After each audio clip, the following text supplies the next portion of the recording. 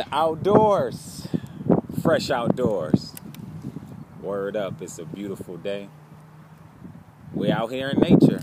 Uh, again, I'm on this uh, this book club series that I'm doing.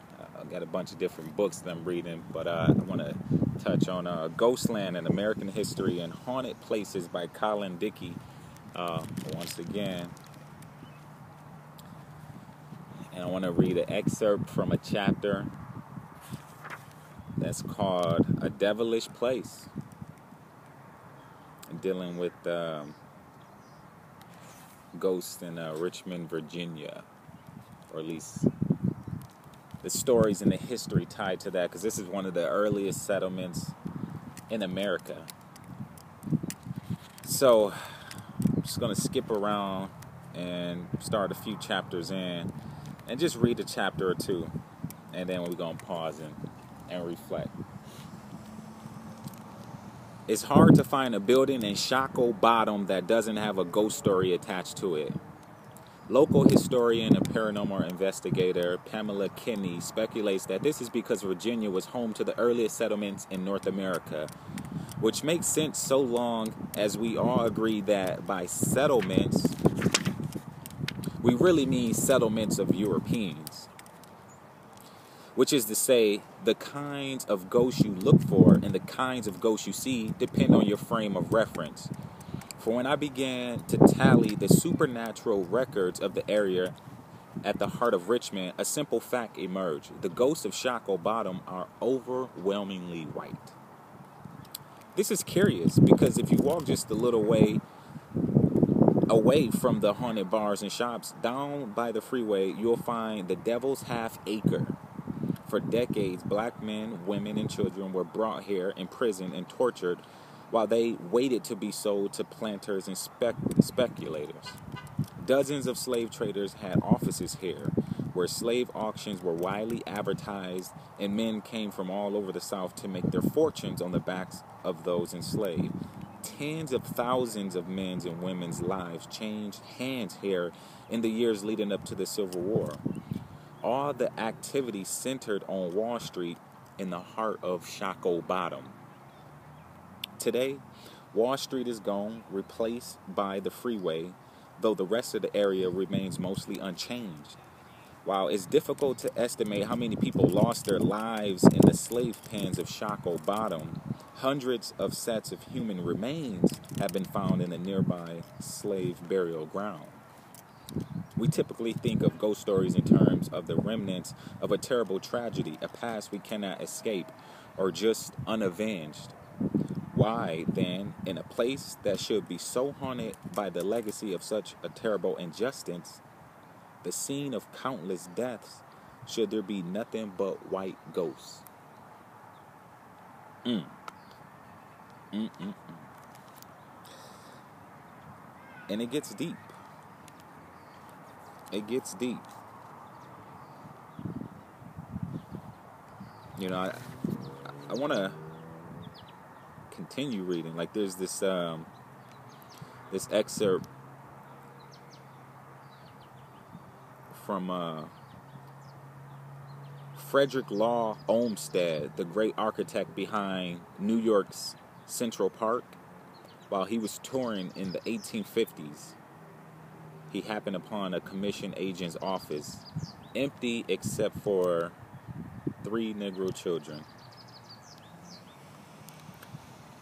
And uh, yeah, that was just uh, I'm not gonna. That's that's disturbing, and I don't want to um, spill too much. I kind of want to leave cliffhangers there because I do want you all to check out Ghostland, an American history and haunted places by Colin Dickey. And uh, it's it's a real easy read, um, especially if you're not an avid reader or you're just um, getting into uh, enjoying the leisure reading things like that. Um, you know, it's um, it's a very easy read and it's intriguing. It'll hook you and there's so many different stories, so many different layers and elements uh, to these different stories. Like for instance, Ghostland talks about you got houses and mansions.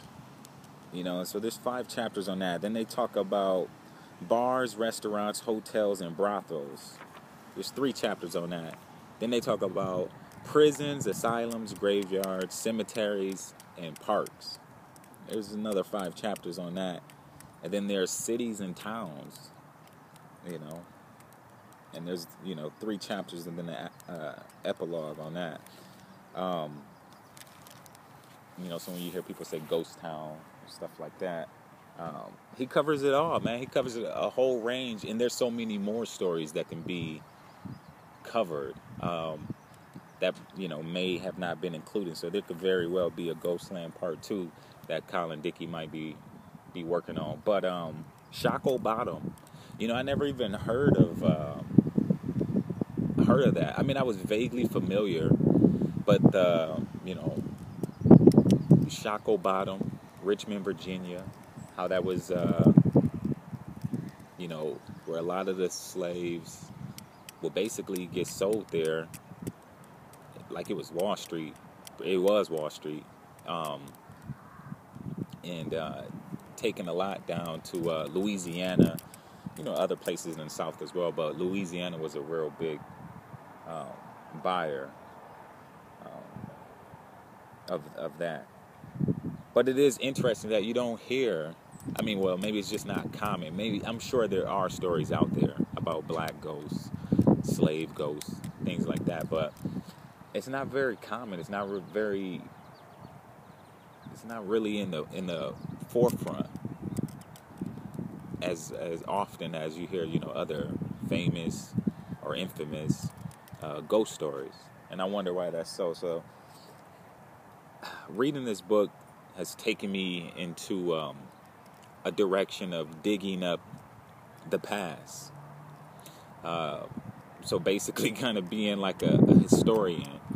I'm uh, I'm in film school. I'm working on a documentary about family history, ancestry, um, you know, family secrets as well, um, good or bad, you know. And obviously, that's gonna shake some people, and uh, you know, some people they shy away from the past, um, family legacies and things like that. Just you know, you'd be digging up the foundation, and um, you don't know what you're gonna get. I'm just, uh, you know, I just want to, I want to know, and um, I know I'm not the only one out there that would like to know more about their family history, uh, ancestry, heritage and um, stories, good or bad. I mean, like I feel like we can learn from that. I feel like we can grow from that. You know, it's uh, experience, experience, history, life, experience, all of that. That's the greatest teacher. You know, and obviously that's going to rub a lot of people the wrong way. So I got, I'm, you know, I'm mindful of that as well. But um, I may end up making this documentary, and I may not never show it to the world. It may just be something just for me. It may be something just for my family, maybe.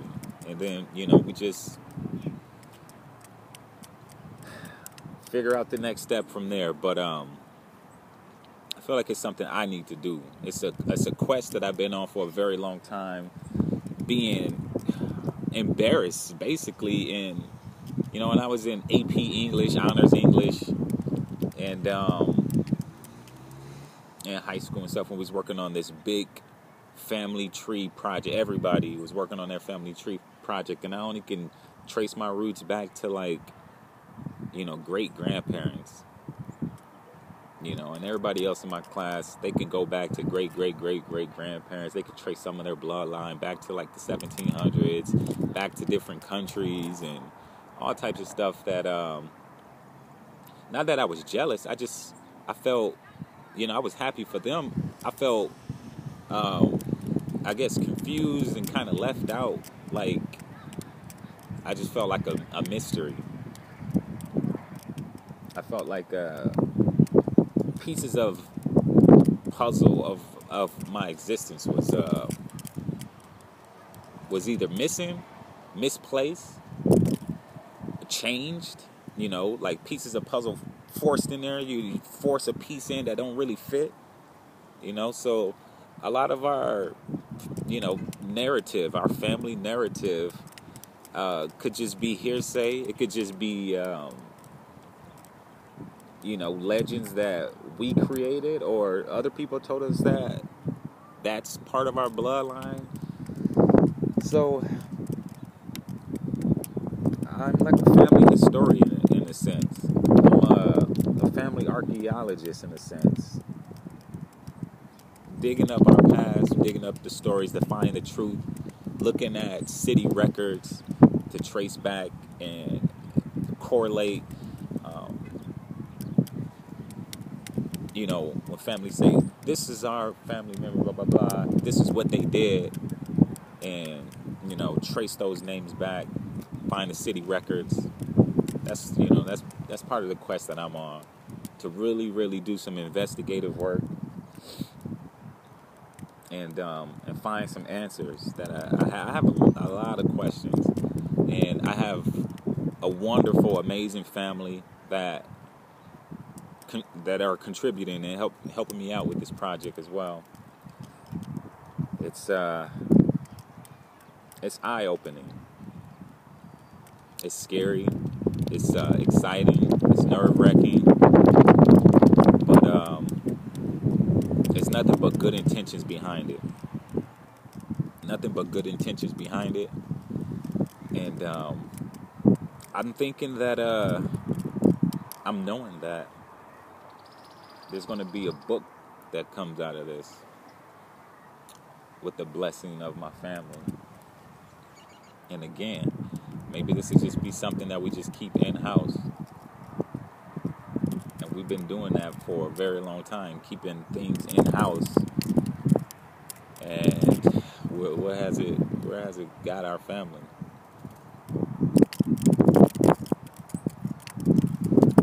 So I'm just reflecting. It's a wonderful day.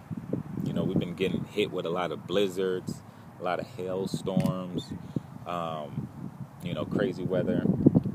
And now it's May, and it's uh, you know we didn't really get treated with the April showers bring May flowers, but uh, hey, it's May and it's looking good. It's looking good. Sorry if you're hearing that in the back. I got um, some tea. This apple ginger tea, and that's just a little flap on it, flapping around. So that may have disturbed part of the video. I'm, I apologize.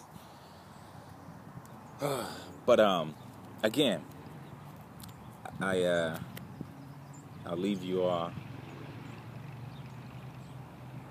with this.